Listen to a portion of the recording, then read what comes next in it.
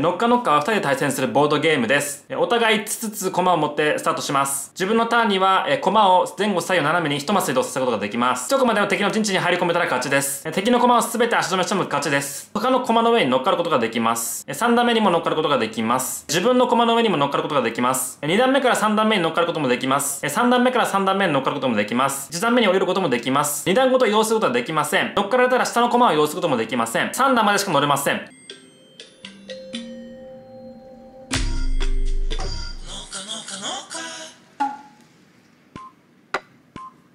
あ、高校ですね。